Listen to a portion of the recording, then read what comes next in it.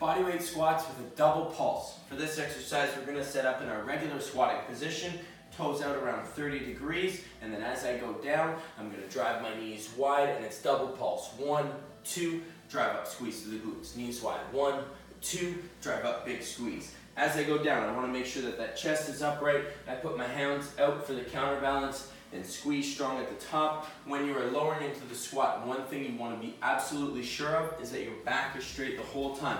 So I'm not rounding down through my back, doing that double pulse, as that's going to place a lot of unwanted tension through our lower back. So just lower to the point where that chest is upright, back is straight. One, two, and then drive squeeze. One, two, drive squeeze. When you're performing the double pulse, you want to be digging through your heels to really try and activate your glutes as much as possible throughout your squat.